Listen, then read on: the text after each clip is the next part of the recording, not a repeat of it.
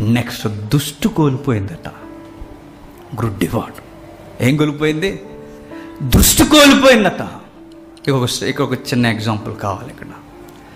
దృష్టి కోల్పోవడం అంటే చూడాల్సింది చూడటం లేదన్నమాట. పనికి మాలినవన్నీ చూస్తుంది ఈరోజు సంఘం. ఒకరోజు మీరు బాగా వినండి. ఎబ్రిలో విశ్వాసుల వీరుల యొక్క పట్టికను మాట్లాడతాడు. చాలాసార్లు చెప్పాను. పదకొండవ అధ్యాయం అంతా వీరులు సూర్యులతో స్టార్ట్ అవుద్ది. హేబేలతో స్టార్ట్ అవుద్ది. పేరు లేని భక్తులతో ఎండ్ అవుద్ది. హేబేలు గొప్ప వీరుడు. దేవుని కొరకు మొట్టమొదటిసారిగా అమరవీరుడు అసూలు బాసినవాడు. అబ్రహాము కనబడతాడు నావోహు కనబడతాడు మోసే కనబడతాడు దావీదు కనబడతాడు దాని లక్షణాలు కనబడతాయి సంసోను కనబడతాడు. సమయలు కనబడతాడు యాకోబు కనబడతాడు ఇస్సాకు కనబడతాడు సారమ్మ కనబడతాడు ఒక్కరా ఇద్దర? గుంపులు గుంపులుగా వ్యక్తులు కనబడతారు. కానీ విచిత్రం ఏంటో చెప్పిన?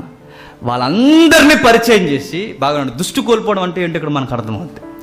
అంత మహాభక్తుల యొక్క పట్టికని పరిచయం చేసి వాళ్ళందరూ ఎలా ఉన్నారయ్యా అంటే ఈ విశ్వాస వీరులట మేఘము వలె ఆవరించి ఉన్నారట.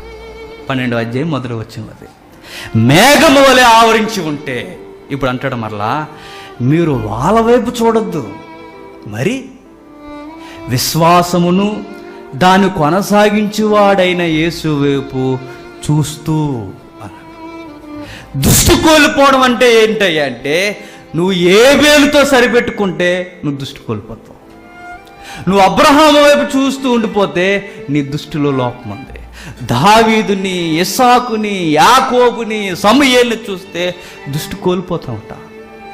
వాళ్ళే చూడొద్దు అంటున్నాడంటే మీ అయ్యగారిని ఎందుకు చూస్తున్నావు అని అడుగుతాడు దేవుడు వాళ్ళు చూడొద్దు వాళ్ళ విశ్వాస విశ్వాసం యొక్క గుంపు మేఘము వలె మనల్ని ఆవరించినను. మీరు వారి వైపు చూడొద్దు విశ్వాసానికి కర్తయు. దాన్ని కొనసాగించేవాడైన యేసు వైపు చూచుచు. మీరు చూడాల్సింది మీరు దృష్టి కేంద్రీకరించవలసినది క్రీస్తు మీదే తప్ప వ్యక్తుల మీద భక్తుల మీద కాదు. అయితే వాళ్ళ గురించి మాట్లాడుకోవద్దని కాదు వాళ్ళ గురించి మాట్లాడుకోండి. వాళ్ళు ఎలా దుష్టు కోల్పోయారో కూడా మీరు ధ్యానించుకోండి అని చెప్తుంది బైబుల్. అబ్రహామును చూసామనుకోండి అబద్ధం అన్నా పర్లేదు అనిపిస్తుంది. అనిపించదు? దావిదును చూసామనుకోండి పాపం చేసిన టెంప్టేషన్లో పర్లేదన్నమాట అనిపిస్తుంది. నోవహును చూసామనుకోండి లైట్గా డ్రింక్ చేసిన పెద్ద ప్రాబ్లం లేదనిపిస్తుంది. మీకు మీరు యథార్థవాదులు ఒప్పుకుంటారు ఒప్పుకోరు కానీ నాకు అనిపిస్తుంది. వీళ్ళు చూస్తున్నప్పుడు ఎక్కడో ఒక లోపం ఏదో ఒక మచ్చ ఏదో ఒక లోపం మనకు అనిపిస్తుంది. ఎవరిని చూసినా ఏదో ఒకటి సమయాలను చూసాం అనుకోండి పిల్లలను పెంచలేకపోయాడు పర్లేదులే అనిపిస్తుంది. ఇలా చూస్తుంటే మనకేమనిపిస్తుందంటే భక్తులు చూస్తే వారిలో లోపాలు కనిపిస్తే అదే పరిశుద్ధుడైన యేసుక్రీస్తుని చూస్తే నీలో పరిశుద్ధత వస్తుంది. అందుకే భక్తులు చూడొద్దు. ఆ రోజున్న భక్తుల్నే చెబుతూ చూడొద్దు అంటున్నాడంటే మీరు వ్యక్తులు చూస్తూ మీరు సంఘానికి వస్తే నువ్వు దృష్టి కోల్పోయిన విశ్వాసం గుడ్డివాడివి. ఈరోజు సంఘాలు దేని మీద కట్టబడుతున్నాయి చెప్పండి? వ్యక్తుల మీద. ఈరోజు సంఘాలను దేని మీద కట్టుకుంటున్నారు చెప్పండి? వ్యక్తుల మీద. ఆయన బొమ్మ వస్తే చాలట. ఆయన కనబడితే చాలు. వ్యక్తుల మీద సంఘం వ్యక్తుల మీద సంఘం కనబడుతుంది. వ్యక్తుల మీద సంఘం కట్టబడితే నువ్వు దౌర్భాగ్యుడవు.